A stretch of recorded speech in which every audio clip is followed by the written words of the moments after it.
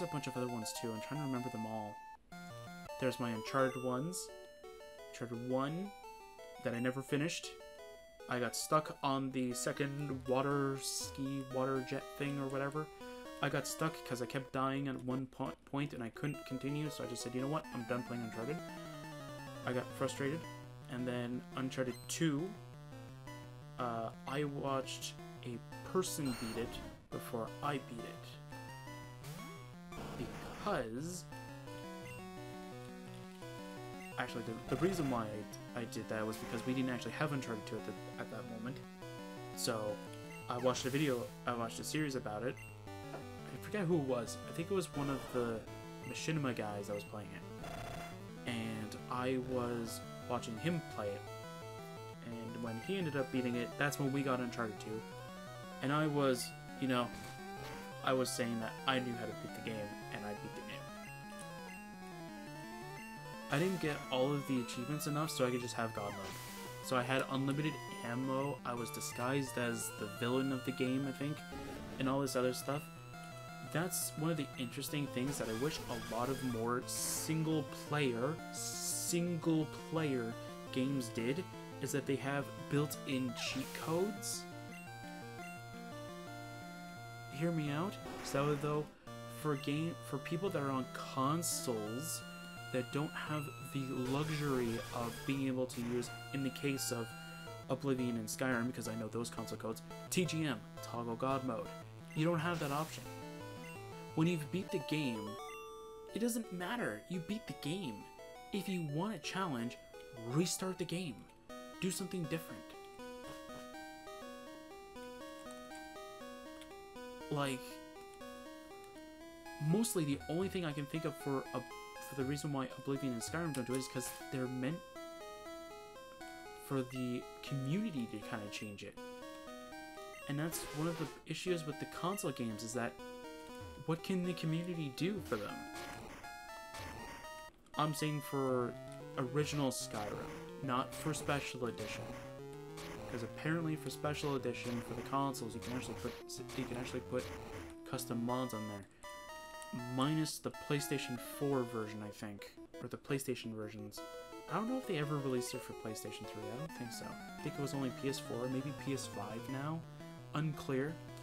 I don't have a PlayStation uh, 4 or 5. That's why I don't play games like that. And there's actually a very good reason why Uh, because I had a computer. And to me, back then, back when those two were the big consoles, I originally thought that PC was the better one because I was raised on it. And then back where back a couple of years ago, trying to remember. Uh, back when I was only before I got this laptop that's right next to me, which is the which is now my new favorite laptop because it is way better than all the laptops I've ever had combined. Uh, I always thought, uh, like, uh, I ended up making my Nintendo Switch my ultimate gaming console, and there's actually a reason for that. All my computers at that moment were quite trash, and I didn't have the money to spend. How much did I spend on you?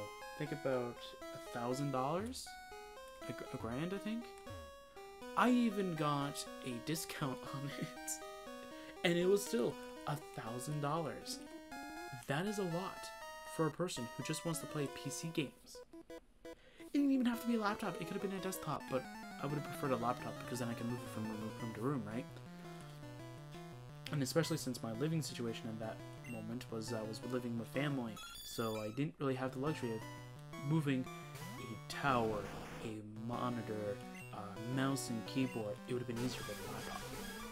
That's why I ended up asking a bunch of people over there, what's the best gaming laptop for value? Like, what's the best for, you know, the cheapest of the gaming laptops that were on the line, but that were, um, but that were, um, like, you know, I wouldn't be too bottlenecked too much. And I got recommended this one. I don't really care for not saying a lot so I'm going to say it now. I got the Acer Nitro 5. Now, I'm new to upgrading laptops, so I didn't know this. Just in case you don't know, I'm gonna say it too.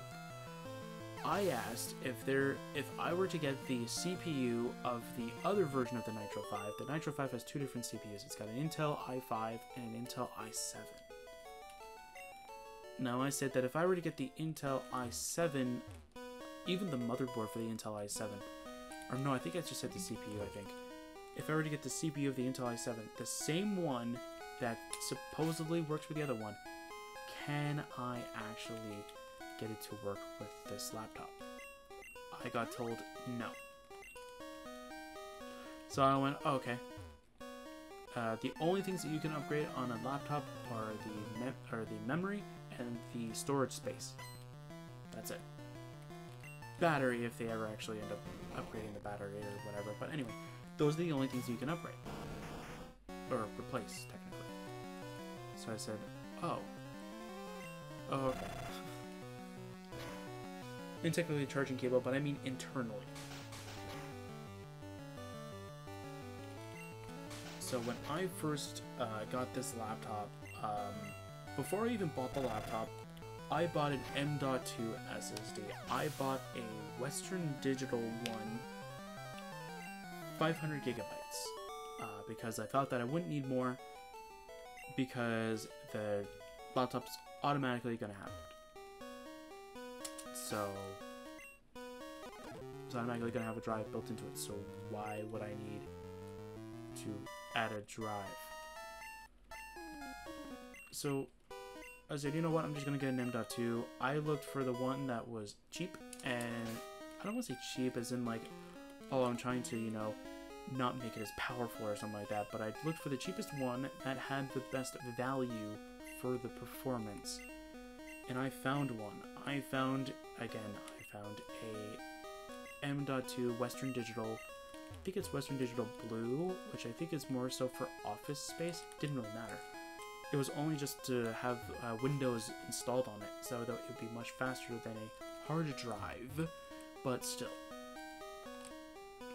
As I was told, hard drives are not really good for that kind of stuff, so. Anyway, who really cares? So I ended up going with a Western Digital Blue 500 gigabyte uh, M.2 SSD, and I ended up having a lot of fun with that uh, for a while until I was able to, uh, until I wanted to start building up this tower right here, one that I'm currently using. Now this little laptop right here uh, cost me, I think, at the end, uh, if I put the M.2 cost, I don't want to count shipping either because I think I got free shipping for it. But anyway, with that cost plus the RAM upgrade I gave it, it would total to around $1,600, 1700 if you round it up a little bit. There might be like a few 50 or $60 kind of thing around the line, but around 16 to $1,700 for a laptop. That's not including games or anything like that. I can literally tell you though that if I were to value my Switch with all the digital games that are actually inside it, it would be around, uh, the uh, micro SD, it would be around uh, three thousand to about four thousand dollars kind of thing, and that's because every game that was that I paid that were on it are new games, which are 80 90 dollars, ninety dollars in my area, but eighty dollars. No, they're eighty dollars, but they're ninety dollars with the tax here. Yeah, so ninety dollars. That's hundred dollars every game for the most part. So that's a lot. And since I bought Sword and Shield mixed in together, uh, that's about $200 right then and there.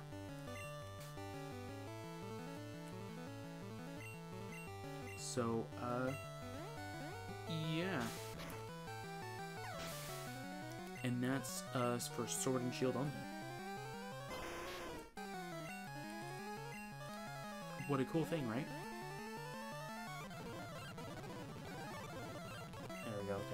Was gonna, I was I was thinking Squirts was gonna go down at some point, but he didn't. Good job, Squirts. But yeah, so I had a lot of fun with that laptop. It it, it made me go through that work uh, that area or that time of my life very easily, and it also went through a lot of other things really quickly too. So I'm very happy with it. It helped me through a lot of tough times as well. So it was a, it was a very good laptop. And I've only had one issue with it. Uh, when I moved to over here, uh, specifically, uh, I ran into this issue. Um, I don't really know how to. I don't really know how to explain how it happened. So, when I first moved here, we had to go somewhere. Uh, pretty much back to where I was before. Um, before I moved here. So, uh, I had to go back there for some reason, and or for a reason I don't remember what it was, and we had to and we had to go and oh wait I need to grab that item and I went into my normal area over there and I ended up going on my laptop I have my laptop charged and everything blah blah blah blah of course uh, later on uh, when we had to leave when I got home when I got back here I looked for my laptop charger because my laptop. I wanted to have the charger plugged in, not plugged into the computer, but plugged into the wall socket. So that though, when my laptop does die, I just need to plug it into the laptop. Boom, done. Um. Apparently, I left it over there. So for a while, I had dead weight next to me. I had a paperweight next to me. I think at that point I didn't even have cube done either. Yeah, I think I think cube wasn't even fully done. So I had two paperweights next to me. So I was like, yay, I can't use them. So I was trying to figure out. So I was so I was texting them, asking them, "Hey, next time you go," like uh, I was asking a cousin that usually goes. I have a lot of cousins. Uh, I asked him, "Hey, uh, next time you go, can you go look for my charger?" Uh, didn't get anything. Then I had to go there for something else uh, because I think they were doing something over there. So I'm like, "This is a perfect time. This is a perfect time for me. I can quite literally go over there, make sure I have my charger next time, and then I'll have a good time because I'll actually have my charger."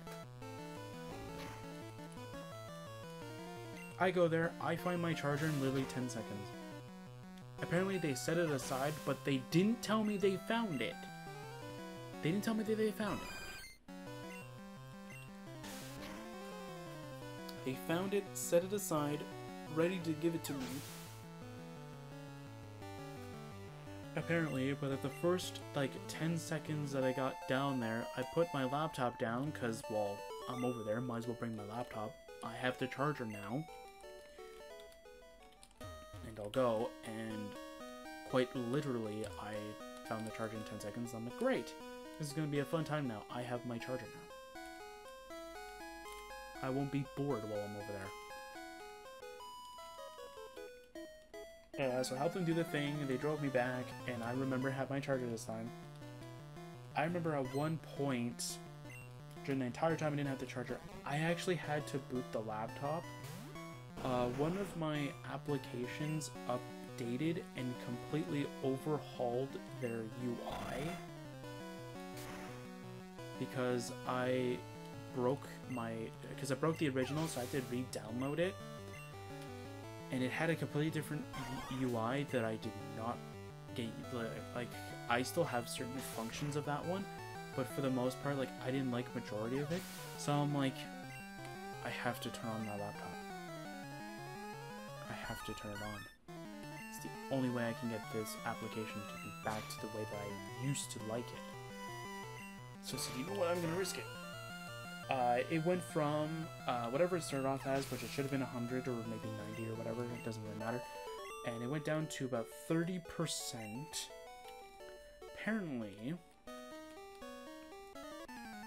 uh, trying to move a a almost I think it was about 700 megabyte uh, program over to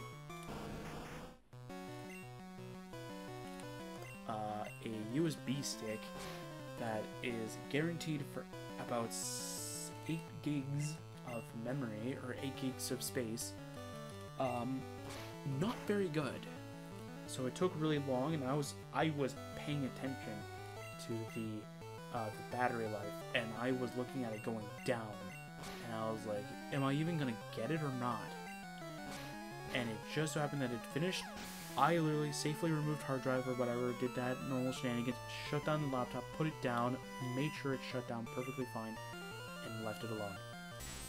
It ended off at like 20 30% something like that.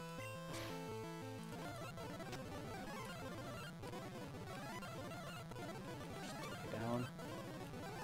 Come on, there we go. Perfect. That one's down. Alright. So there we go. That